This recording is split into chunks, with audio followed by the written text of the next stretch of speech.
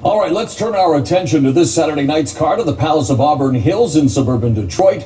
The main event of UFC 123 is a battle between two former UFC light heavyweight champions in Quinton Rampage Jackson and Lyoto Machida. Now, both of them are coming off losses. Machida suffered his first loss in 17 pro bouts back in May when he was knocked out in the first round of his rematch with Mauricio Shogun Rua, who became the new 205 pound top dog. Jackson dropped a unanimous decision to arch nemesis and former champion Rashad Evans at UFC 114 in May. Now, Evans is, of course, next in line to challenge Rua for the title early next year. Shogun currently recovering from knee surgery following his title victory. Who do you see prevailing between Rampage and the Dragon on Saturday night, and why? I think this is Lyoto Machida's fight to lose here because of his style, the way he's so elusive out there, um, his speed, his his uh, his quickness on his feet, also his underrated ground game. I think very much so that um, Rampage Jackson needs to turn back the clock here. Based on what we saw against Rashad Evans, and really some of the things that Rashad, uh, excuse me, that Rampage has been saying leading up to this fight, I'm not really sure what his mindset is like going into this fight. I feel like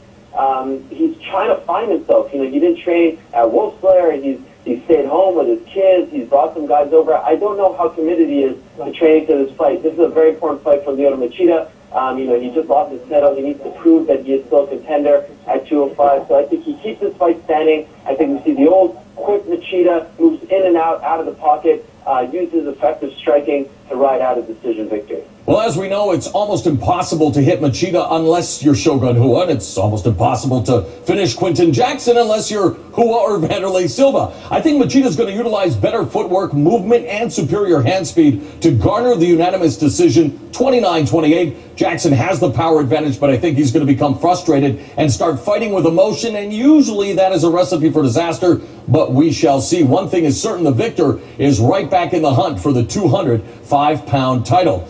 All right, tell me the truth. Did you ever think we would see the rubber match between former UFC welterweight champs Matt Hughes and BJ Penn? To be honest, no more. I never thought we would actually see this uh, this trilogy because I thought BJ Penn was looking so good at 155. I actually thought he would retire as a lightweight, but as you know, he lost his last two to Frankie Edgar, and he needs sort of a, uh, a fresh coat of paint on his career here. So they bumped him up to 170, and they gave him a shot against his old rival Matt Hughes, which on paper I don't know what it means for either guy. I mean, I know Matt Hughes is on a three-fight winning streak, but I don't know what it means, you know, to, to beat, beat BJ Penn at this point in his career as a welterweight. But it's just a fun fight on paper and very tough fight to call for me. But I think I'm going to go ahead and give the edge to BJ Penn. Uh, I think BJ's quicker than Matt Hughes right now. I think that uh, strike eight sort of on par, but it's very hard to take BJ down. Um, and, and Matt Hughes relies a lot on his wrestling. So I see BJ riding out a split decision victory. I wouldn't be surprised to see Matt Hughes win. But I don't know. I, I'm going to go with my heart on this one, and, and I think BJ Penn looks very good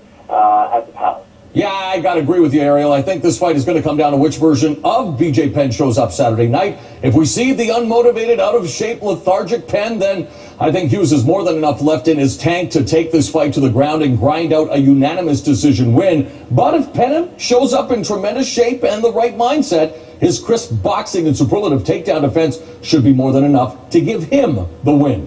Well, another intriguing bout of UFC 123 is a lightweight showdown between George Sotiropoulos and Joe Lauzon. I'm looking forward to what should be an entertaining fight in all facets of the sport. Both of them have tremendous BJJ skills, but I got to give the edge to striking to the Aussie, and I think a win by Sotiropoulos should give him a shot at the winner of the unified UFC lightweight championship. Who do you think wins and why? At the end of the day, if I'm going to be forced to pick a winner here, I'm going to go with Sotiropoulos.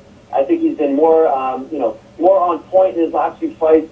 Lauzon at times a little unpredictable. Um, sometimes you know you see a very good performance like we did uh, at UFC 118, and then a not so very good performance. We don't know what to expect. And yes, he's been injured and he's been battling injuries. I think he's 100% now. So I think we'll see the best Joe Lauzon. But uh, Sotiropoulos, due to how tough he is on his feet and on the ground, I think he wins another decision victory. All right.